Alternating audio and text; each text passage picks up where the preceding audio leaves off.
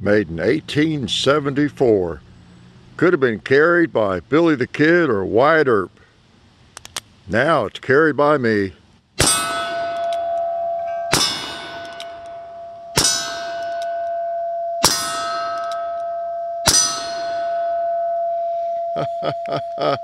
yeah, it's my turn. Hickok 45.